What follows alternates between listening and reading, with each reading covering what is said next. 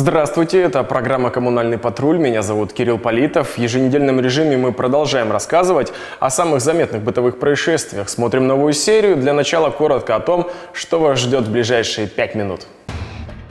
По пути Приморья. Почему одна из переправ не внушает доверия барнаульцам?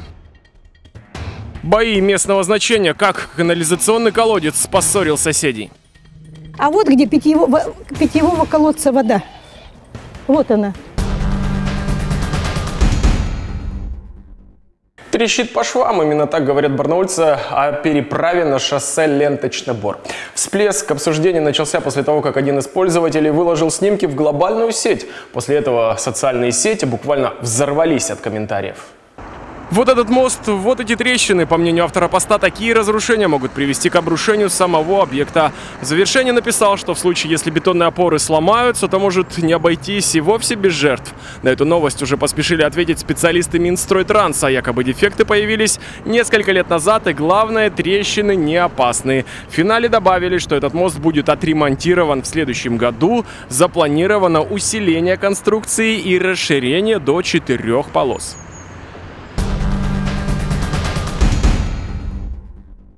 Скандалом соседей завершилась очередная попытка договориться по поводу протекающей выгребной ямы. По мнению одной из сторон, стоки бегут из колодца и топят улицу, а вместе с ней и другой соседний трубопровод. О возможных последствиях далее. Вот они идут оттуда. А вот где питьевого, питьевого колодца вода. Вот она. Понятно? Пять метров. И вот это вот все заливается канализационными стоками.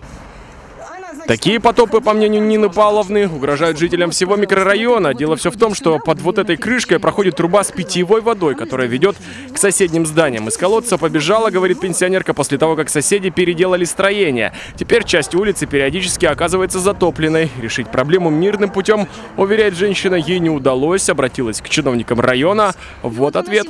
В целях действия дальнейшего недопущения выхода сточных вод на поверхность собственников выгребной ямы было рекомендовано своевременно осуществлять работы по откачке бытовых отходов. Это не бытовые отходы, это канализационные отходы. На уровне 5 метров, вы видите, находится основная, основной колодец питьевой воды. Эта вода проходит до дома престарелых, и там многоэтажный поселок, и мы все пользуемся вот этими сточными водами.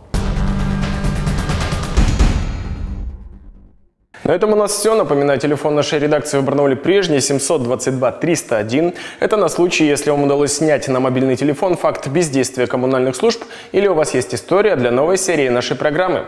До новых встреч ровно через неделю. Не пропустите.